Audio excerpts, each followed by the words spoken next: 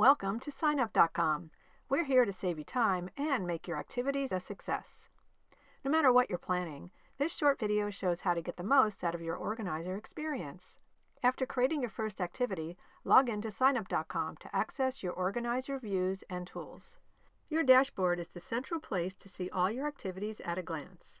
Scroll down to see the signups you organize and invitations to signups you're invited to. From a computer or tablet, you can also manage your group pages, where you can post multiple signups on one page, and you can also view your premium reports here. At any time, you can select Organize to view all the signups or group pages, where you're the primary or assistant organizer. Select My Invitations to view signups you're invited to as a participant.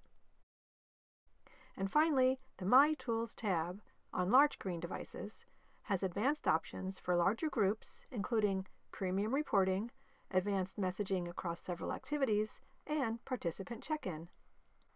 This is also where you'll import contact lists and manage organization and campus plan account memberships. Now let's take a look at managing a specific signup.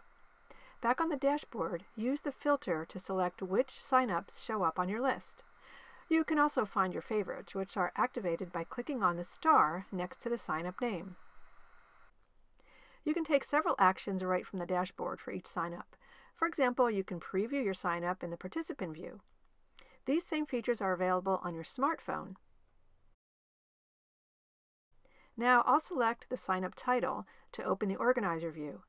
This brings up the Spots tab, either in Calendar or in List View.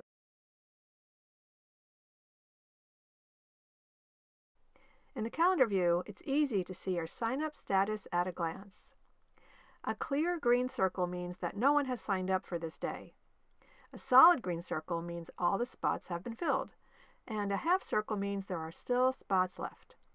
Gray indicates that the day has already passed, and the numbers tell you how many spots are filled. If you need to prevent participants from signing up or making changes or canceling their spots for a specific day, just select the day and then select Lock, and this icon will appear on the locked days. An orange comment bubble means someone has posted a comment. To view or make changes on any day, just click anywhere in the box. From here, you can add a new spot for the day, or view and print a list of who has signed up, or you can copy the activity to other days. You can also delete the day or several days, or lock or unlock the day, which we've already seen. To make changes to a specific spot, just click on the item title. Here, you can edit the details, make manual assignments for participants, and then signup.com will automatically notify participants of their new assignments. And you can also view or post a comment or delete the spot altogether. Let's review the other organizer tabs that are listed across the top on large screen devices. Details is where you can change the basic information about the sign-up or your contact details. To affiliate your sign-up with a school, click this button. Lower on the screen, premium members can add assistant organizers, set up additional fields to collect participant information, or set a limit on how many times someone can sign up. To see a list of who has been invited and when they last viewed the activity, click the Participants tab. Then choose a specific name or email to edit or view the information about that person. Use Messages to send updates or thank you notes, and then click here to choose the recipients of a message by sign up status, date, or a specific shift. To find out who has signed up on a certain day, Reports is where you want to go. There are many custom options here, including printing sign-up sheets, rosters, and even exporting your sign-up data. The most commonly used report is the sign-up or check-in report. Premium members can run hour tracking reports, and if you're collecting money, your contribution reports will be here too. When you're ready to invite more people to sign up, or you want to copy a shareable link for your newsletters or social media or website, click Invite and choose one of these options.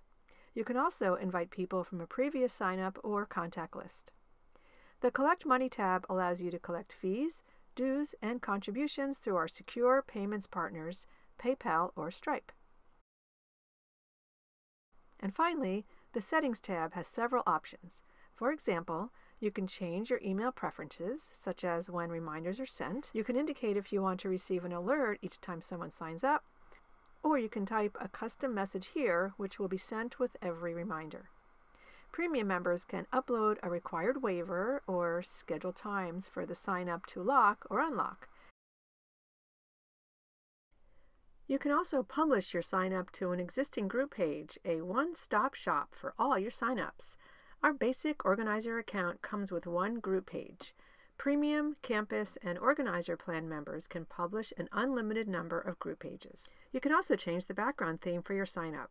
Choose one from here or upload your own image or logo. At any time during the process, click Preview Sign Up at the top of the page to see how it will look to participants. And when you're done, click back to the dashboard. The Tools pull-down menu gives you several options to help get your sign up ready for a new season, including duplicating plans with a fresh date and passing the baton to a new organizer. You can also reset your sign up with new dates and use the same URL for recurring activities. Archive any signups you no longer need to save the plans for later. Need extra planning muscle, text reminders, or advanced reporting? Then our premium service is for you. Click Go Premium to review our plans and upgrade. With signup.com, your activities are sure to be a success. If you have questions, let us know by clicking here. Also, check out our Idea Center for fun planning tips to help along the way. Thanks for using signup.com the easiest way to bring people together.